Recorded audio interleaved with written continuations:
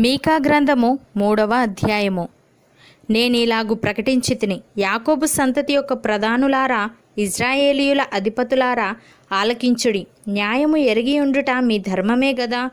అయినను మేలు నసహించుకొని కీడు చేయనిష్టపడుదురు. నా జనుల చర్మము ఊడదీసి వారి ఎముకల మీది మాంసము చీల్చుచుందురు.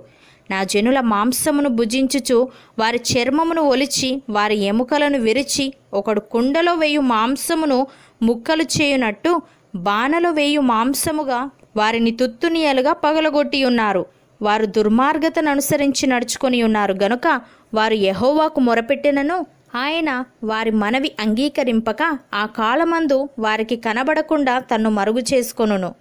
ఆహారము నములుచు సమాధానమని ప్రకటించు వారును ఒకడు తమ నోట ఆహారము పెట్టని ఎడల అతని మీద యుద్ధము ప్రకటించువారునై నా జనులను పొరపెట్టు ప్రవక్తలను గూర్చి యహోవ సెలవిచ్చినదేమనగా మీకు దర్శనము కలగకుండా రాత్రి కమ్మును సోది చెప్పకుండా మీకు చీకటి కలుగును. ఇట్టి ప్రవక్తలకు సూర్యుడు కనబడకుండా అస్తమించును పగలు చీకటి పడును. అప్పుడు దీర్ఘదర్శులు సిగ్గునొందుదురు సోదెగాన్రు తెల్లబోవుదురు.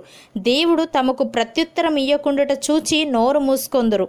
నేనైతే యాకోబు సంతతి వారికి తమ దోషమును ఇజ్రాయేలీయులకు తమ పాపమును కనుపరచుటకై యహోవ ఆత్మావేశము చేత బలముతోనూ తీర్పు తీర్చు శక్తితోనూ ధైర్యముతోనూ నింపబడిన వాడనై ఉన్నాను. యాకోబు సంతతి వారి ప్రధానులారా ఇజ్రాయేలీయుల అధిపతులారా న్యాయమును తృణీకరించుచు దుర్నీతిని నీతిగా ఎంచువారలారా ఈ మాట ఆలకించుడి. నరహత్య చేయుట చేత సియోనును మీరు కట్టుదురు. దుష్టత్వము జరిగించుట చేత ఎరుషలేమును మీరు కట్టుదురు.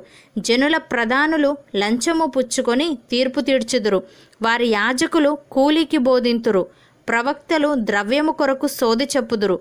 అయినను వారు యహోవాను ఆధారము చేసుకొని యహోవా మన మధ్యనున్నాడు గదా? ఏ కీడును మనకు రానేరదని అనుకొందురు. కాబట్టి చేను దున్నబడినట్లు మిమ్మును బట్టి సియోను దున్నబడును. ఎరుషలేము రాళ్ళ కుప్పలగును మందిరమున్న పర్వతము అరణ్యములోని ఉన్నత స్థలముల వలె అగును.